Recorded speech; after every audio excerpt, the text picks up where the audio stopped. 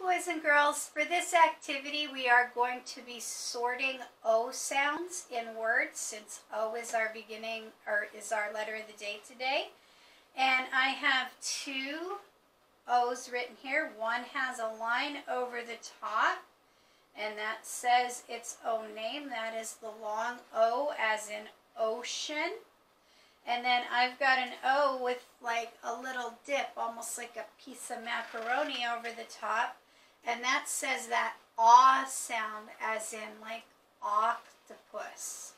So this one's the long O. It says its own name, O. This one's the short O. It says aw. Would you like to start? Yeah, sure. So, this first card I have is a picture of an oval. So, thinking through that word, oval, o, oval, o. That one sounds like it's saying O. So that one should go with the long O sound. It starts with the O sound. I have an ostrich here. If you think your way through the sounds of that word, aw, stretch. It does not say the O name. It has that softer ah sound. So that card will belong right here under the short O for ostrich. Alright, the next card I have is a picture of an otter. So let's think through that sound together.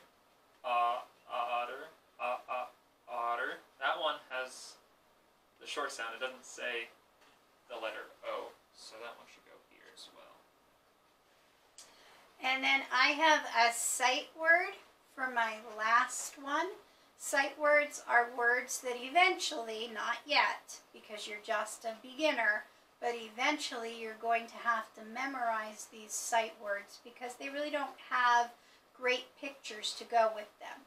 So um, this one says open, like you open a door. And you can hear at the beginning, if we think our way through the sounds in this word, O, N, O, N. You actually say the letter O, so that will go right under that long O sound. We're going to move these down like this. Okay, Mr. Michael. Alright, the last one I have is a picture of an octopus. So let's think through that word together. Ah, octopus. Ah, ah, octopus.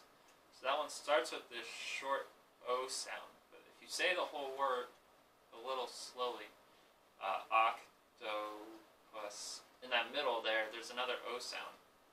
Octo, O, O, bus. And that one, that sounds like it has the long O sound. So would it be okay if I put this in the? I think so because it, it starts with that short O as in ah, and then it has that long O in the middle. So octopus has both sounds, one in the beginning and one in the middle. Very good. I hope that you're able to find some O objects in your house and that you can decide whether they begin with the long O or the short O, which says aw. Um, and I hope you have fun with this activity. We'll see you in the next video. Bye.